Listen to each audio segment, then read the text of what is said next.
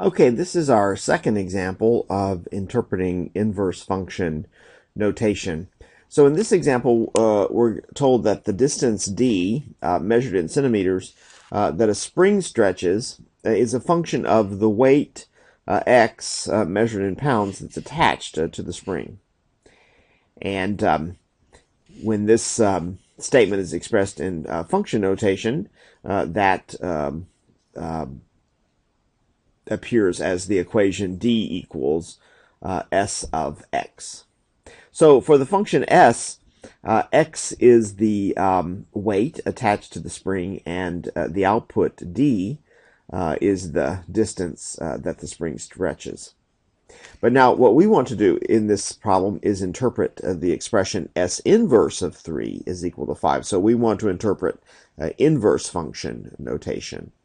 So again, recall uh, that um, one way of thinking of an inverse function is that it uh, reverses or interchanges the input and the output quantity uh, for a function. So uh, in this uh, expression, in this equation, uh, the input quantity is going to be the distance that the spring is stretched, and the output quantity is going to be the weight attached to the spring. So that's just the opposite of the function s, where again the input quantity is the weight attached to the spring and the output quantity is the distance that the spring stretches. So what this equation is telling us is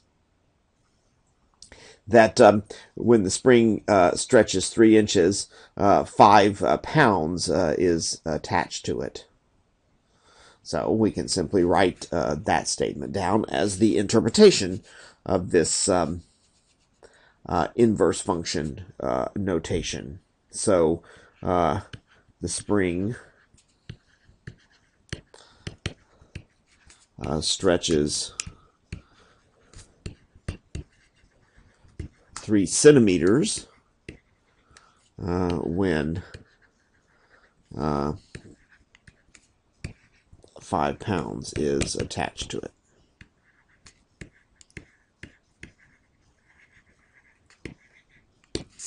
And there's our uh, interpretation of the inverse function notation.